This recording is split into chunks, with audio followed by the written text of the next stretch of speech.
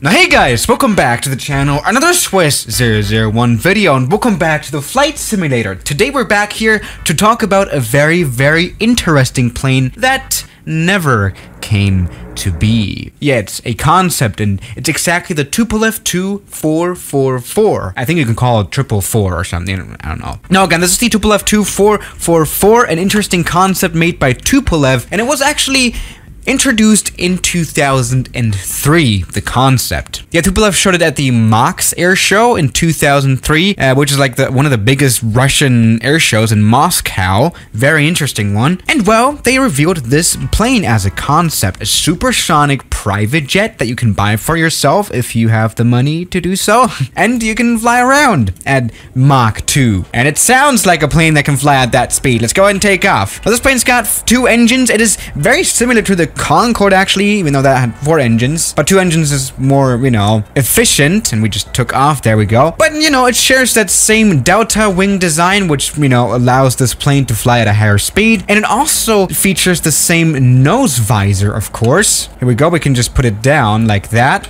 And as we all remember from the Concorde, this nose visor, also called snoot droop. Since pilots couldn't see out of the plane because of angled landing, engineers put together a solution. The Concorde featured a droop snoot. Droop snoot? Yeah, the, the snoot would droop.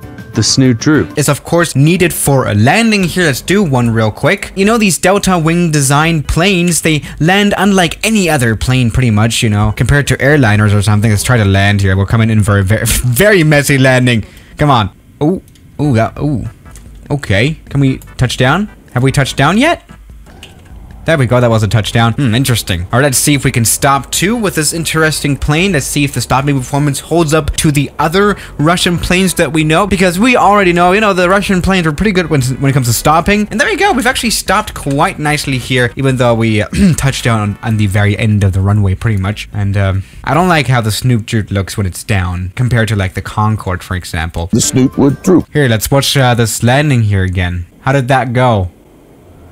Oh, a little bad here, touching on the nose landing gear, whatever. We uh, did stop and not crash. That's good. But no, really, this is quite a genius idea from Tupolev, right? You know, the supersonic market is coming up, you know, especially we've got the Aerion plane, we've got the Boom Overture plane, all those planes that I've already talked about that can fly supersonic. And they are actually not that much of a concept of the future anymore, especially the Boom plane, the Overture. They're going to do a test flight like this year, right? So we all know that's actually coming. And so that's really, I think supersonic travel in general is coming back. So this is really a nice idea to also have a real private jet like this, really only for private travel, you know, for the people that can't afford it and, you know, need to afford it. For example, you know, maybe Google would really buy this plane because their time is worth more than their money, maybe. I don't know, you know, from the corporate travel site. So there is definitely a market and an opportunity for this plane to be successful. Okay, so that's that's really nice. So maybe do some um, Swiss 001 channel testing. Hmm, where can we go? Let me test some short runway performance. Hmm, Catalina Island. Let's go there. So I kind of want to get used to flying this plane a little bit better better. Now, if anyone remembers that one stream I did with this kind of plane trying to fly it, we all remember uh, that there are some interesting spelling mistakes, probably from the Russian translation of the cockpit. For example, it says here, hydraulic system. That's nice. What else did we have? I think there was rudder down here with a, th three Ds. Great. And we're dying. Oh, wow. We should focus on flying a little bit better. Never mind. Okay, let's come in now for this 900 meter long runway. Let's see if I can approve this plane as a short runway performancer. Okay. Wow. I'm having a little bit of hard time trying to really control this plane properly. Let's hope that we can stop, which we can't. Rest in peace. Yeah, really, this plane kind of feels like it doesn't want to really touch down on the ground. Let's try this again. Interesting landing there, too. All right, second time, second try. Let's do this.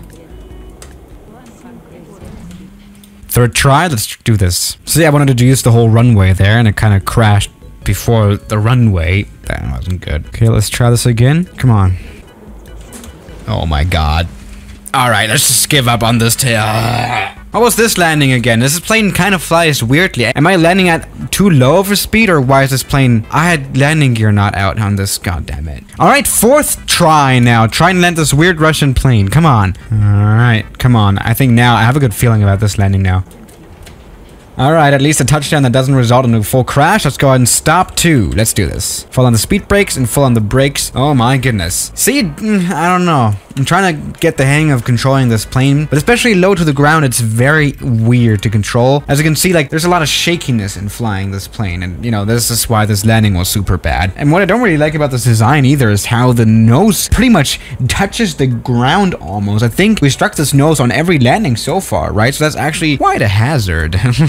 oh, damn. All right. Now, this plane is actually really nice. As you can see, there's a lot of opportunity in it, and there's a lot of people that would buy it. So, what happened to it? Why is it not a thing now? I mean, it's been 17 years since 2003, so what has happened to this plane? Let me just say nothing. Yeah, after Tupolev announced this concept and talked about it, oh, this is the future, they never really made anything out of it following 2003. And well, what can I say? The internet presence of the Tupolev Tu-444 is quite weak. There's only, you know, there's only a German Wikipedia page, for example. There's no English one for this one. And well, it doesn't really say a lot about this plane other than some data and how it looks and everything. And well, that's really much it. I mean, it was even removed from the official Tupolev site in like 2012. Yep, they deleted this plane. I mean, actually, I found an archive here from 2011 from the Tupolev Tu-444 where they, you know, showed the pictures, showed the dimensions, and talked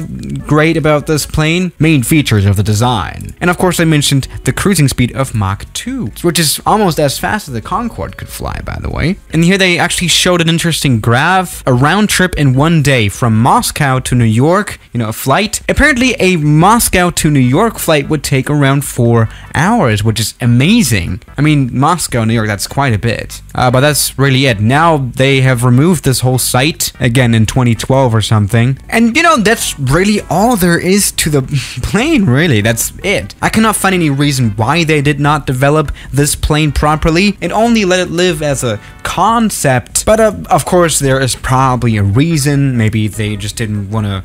I, I, don't know. I mean, Tupolev has done a few supersonic planes already. They know how to do it, and you know they worked out pretty kind of well. So I don't really get why they, you know, didn't actually put some further development into this plane, really. But what we can say though is, you know, that aircraft manufacturers, of course, especially Russian aircraft manufacturers, they like to experiment around with designs and concepts. There's been thousands. I mean, take a look at the Sukhoi KR-860, a double-deck airliner. Kind of looks like the A380 off Wish, which could seat a thousand people, which is quite crazy. So that's probably what happened. But hey, you know, maybe there's a chance for this concept to somewhere come back. I mean, actually, I read this on Aero Telegraph, by the way. As of 2020, they started working on a new supersonic jet. So we may or may not know. Maybe Tupolev is coming up with another design, or maybe reusing this design, and we can see it in this year's air show of MAKS, right? In Moscow. Maybe we can look forward to something.